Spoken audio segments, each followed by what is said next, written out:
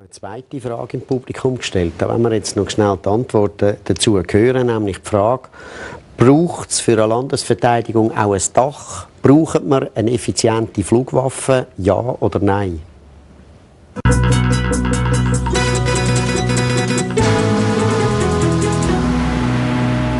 Wir werden sowieso nicht angegriffen, wir leben ja in der Mitte von Europa. Also sage ich, das braucht es überhaupt nicht. Sozial äh, benachteiligt in der Schweiz mal schauen, statt Kampfflugzeuge. Die Schweiz ist eh nie im Krieg. Die Schweiz braucht keine neuen Kampfflugzeuge und auch keine Flugabwehr. Wir sind zwar schon ein neutrales Land, aber ich finde doch, äh, zur Verteidigung sollte man irgendwie nicht als einziges Land abrüsten. Ich halte eh nicht so viel von Landesverteidigung. Ich glaube, wir sind noch nie wirklich Krieg und haben so etwas benötigt. Das braucht es einfach. He? Was wollt ihr denn sonst machen ohne das? He? Die Überwachung, die man hat, braucht man nicht. He? Die, die nichts verstehen, die tun dumm laufen. Ich verstehe noch etwas. Ich glaube, es braucht überhaupt keine mehr, effektiv. Warum? Warum? Weil ich denke, dass keine Kriegsgefahr mehr herrscht gegenüber der Schweiz. Ich denke, das ist einfach die Natur der Sache wenn man nicht zeitgemäß ist, dann ja, kann man eventuell die Waffen vom Gegner nicht abwehren. Eine Landesverteidigung ist nur möglich, wenn man Flugzeuge hat. Allerdings, denke ich, dass die Schweiz nicht, nicht übermäßig viele Flugzeuge braucht. Heutzutage sehe ich eigentlich keinen grossen Sinn mehr von einer Armee, wie wir sie haben. Oder? Weil äh, mit dem, äh, mit dem äh, Sturmgewehr da irgendetwas verteidigen oder früher mit einem Karabiner, das ist ein, ist ein Witz. Aber Flugzeuge finde ich eigentlich schon noch einen gewissen Sinn. Ich finde es eigentlich völlig unnötig, so Kampfflugzeuge, weil braucht es nicht in der Schweiz halt, finde ich. Wir brauchen eigentlich kein äh, Militärflugzeug, wie wir als Schweiz, als neutrales Land das gar nicht nötig haben und zudem haben wir den Platz nicht. Vor allem die Schweiz ist sehr klein und der Luftraum ebenfalls. Also wenn wir auch trainieren mit den Kampfflugzeugen, müssen wir sowieso das Ausland, wo weitere Kosten würden verursachen und das, darum eigentlich äh, ist es völlig unsinnig.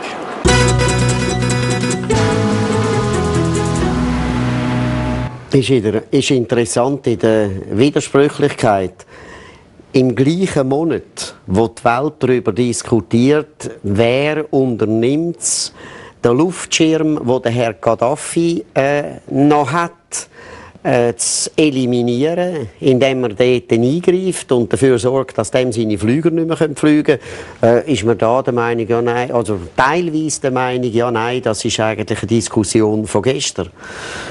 Herr Divisionär Solenthaler, wie beurteilen Sie es? Äh, ich sehe es ein bisschen anders. Wir haben ja die Luftwaffe nicht nur dazu da, um im Kriegsfall jetzt für die Schweiz aktiv zu werden, sondern für uns ist es völlig normal, dass wir am Boden eine Polizei haben, eine Grenzwache die Grenzen kontrolliert.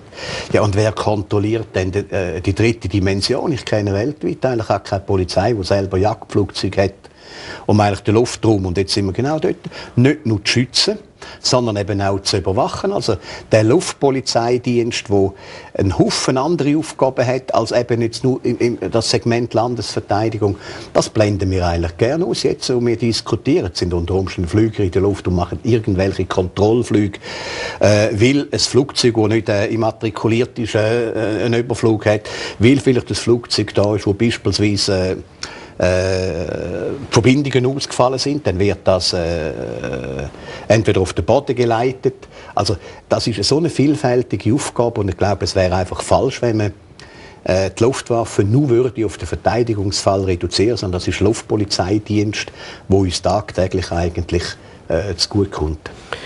Wenn eine Armee, so wie Sie sie im Einsatz geschildert haben, frühzeitig eingreifen, damit eben der schlimmste Notfall nicht passiert, dann muss sie ja sicher sein, dass sie kann eingreifen, also dass das Dach zu ist, wo sie darunter kann operieren. Und das wird ja wahrscheinlich kaum zu gewährleisten sein, wenn man nicht dafür selber dafür sorgt, dass man das Dach zumachen können. Ja, ich meine, wenn ich die Schweiz mit dem Haus vergleiche, Sie haben jetzt das Dach erwähnt, oder? dann haben wir eigentlich, leben wir in einem wunderbar bestellten Haus rein. Wir haben alles, was man sich eigentlich vorstellen kann, da drin. Und es wäre eigentlich schon blauäugig, wenn man würde meinen, dass immer nur schön Wetter wäre und das Haus kein Dach braucht, das schlussendlich einen Schutz garantiert, wenn es mal ein bisschen gröber wurde. Und das kann durchaus sein. Das muss nicht ein Kriegsszenario da sein. Aber äh, Äh, das kann auch äh, im Rahmen von, von Terroraktivitäten, äh, nehmen Sie äh, 9-11.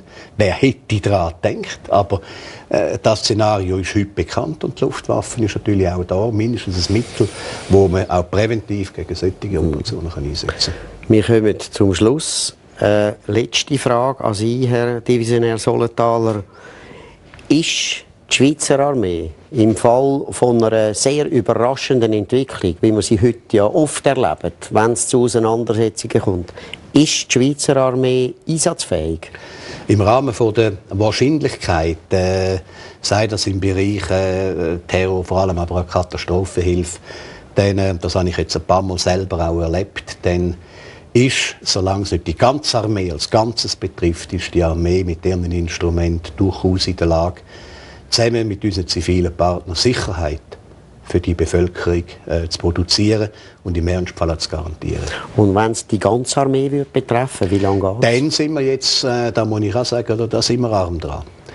Es ist eine Tatsache heute, dass die ganze Armee nicht mehr so kann ausgerüstet werden flächendeckend, wie sie eigentlich müsste. Uns fehlt schlichtweg das Geld dazu, weil die Armee hat man eigentlich zu Tod gesperrt und äh, darum sage ich, die Lösung ist nicht ganz ehrlich, die wir haben. Wir äh, leben von der Hand ins Maul, wenn man die Armee als Ganzes äh, so möchte, äh, ausrüsten, trainieren und gestalten, wie man sie müsste, dann bräuchte es eindeutig mehr Geld, damit sie wirklich den Namen auch verdient. Vielen Dank. Äh, es war eine anregende, interessante, knappe Stunde. Gewesen.